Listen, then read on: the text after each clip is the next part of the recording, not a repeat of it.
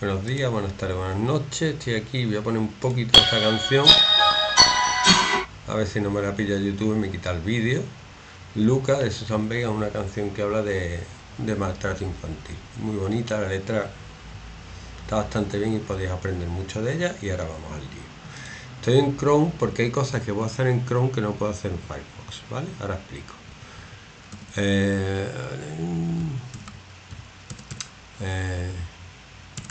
microbit. Bueno, vamos a programar. Es anatema, pero yo voy a decir anatema es algo que no se puede decir, ¿vale? Que todo el mundo te diría, no digas eso, que eso no se puede decir. Se pueden decir muchas cosas, ¿vale? Entre ellas que programar por bloque no es programar. Sí, que hace las cosas que tú dices, pero para aprender realmente hay que escribir código. ¿Ok?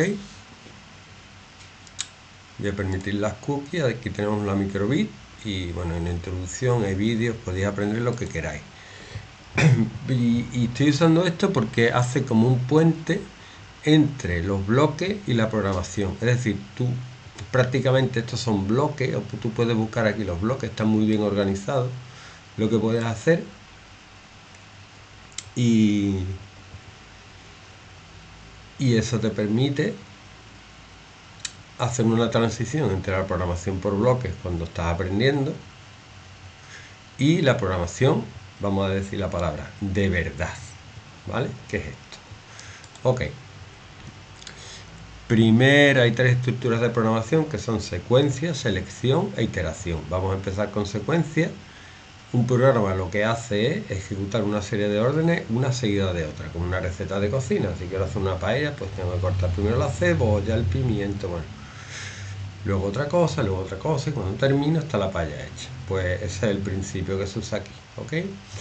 Básicamente, esto es Python, poco me da igual el lenguaje, con Arduino programamos en, en C++, lo que importa son las estructuras de programación, ¿vale?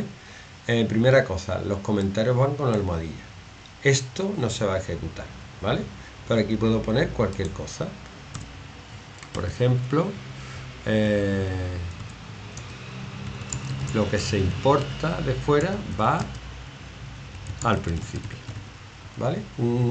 algo que se importa es como me dijeron los alumnos el otro día, un DLC para un juego, pantallas nuevas, que tú tienes el juego instalado y puedes meter cosas nuevas. Pues Python es un lenguaje que tiene una estructura básica, una serie de comandos básicos, y tú si quieres manejar un dispositivo nuevo como una microbit, tienes que instalar una, importar una librería que se importa aquí. De la librería de microbit, importar asterisco significa todo, ¿vale?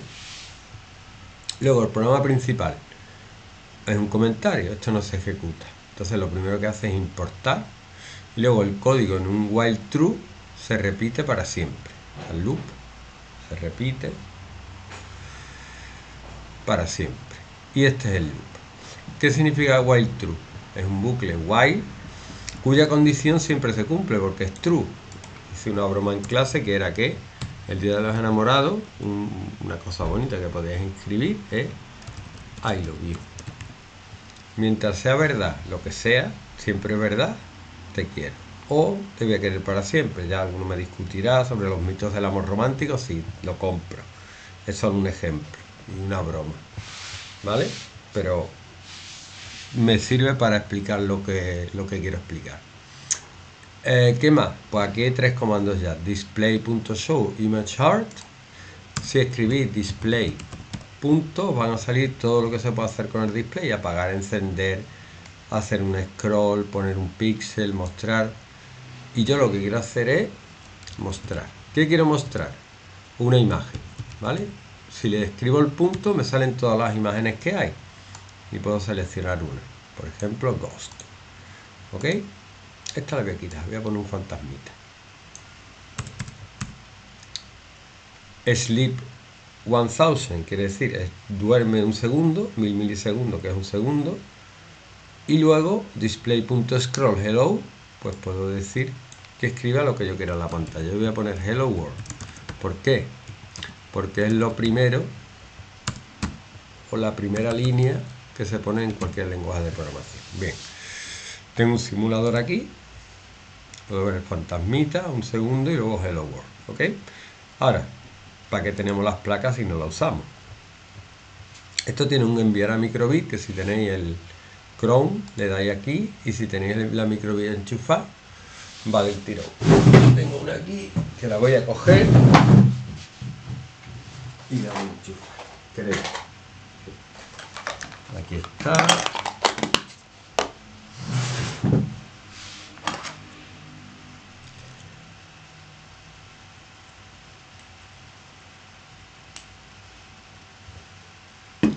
Vamos a enchufar la microbit.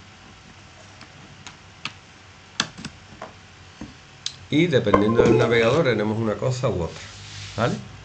Ya le he conectado esto que me sale lo que es la microbit, que no es nada, esto no hay que tocarlo. Conecta el cable. Siguiente. Debería salir esto, aquí me sale automáticamente. ¿Vale? Pero aquí te dice que tiene que salir, esto está conectado ya. ¿Vale? Si no tuviera los drivers. ¿Ves? Ahí ya me ha ¿Se quiere conectar? Pues sí. Conectar. Ya está conectado. Y ahora lo que está haciendo es mandar el código a la microbit. Me gusta regular, ahora os diré por qué. Se enciende una luz de la microbit en la parte trasera superior, justo si le dais la vuelta a la microbit, a la derecha, donde va enchufado el cable de datos.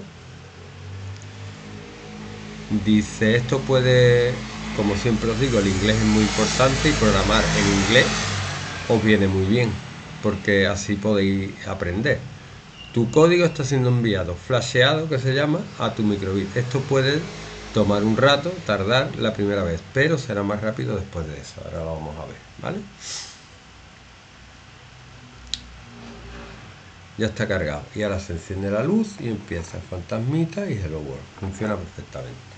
Primer ejercicio. Vamos con el siguiente. Este ejercicio, ah, perdón. Guardar. Puedo guardar el archivo, no le he puesto nombre, muy importante. 01. Secuencia. Ana de Arma y José Luis. Por poner los nombres de los dos compañeros que hagáis el ejercicio, ¿vale? Lo puedo grabar también descargando el archivo, que es así. Debe haber ido a la carpeta descarga, debe haber ido, digo, porque igual no ha ido. No, aquí no está.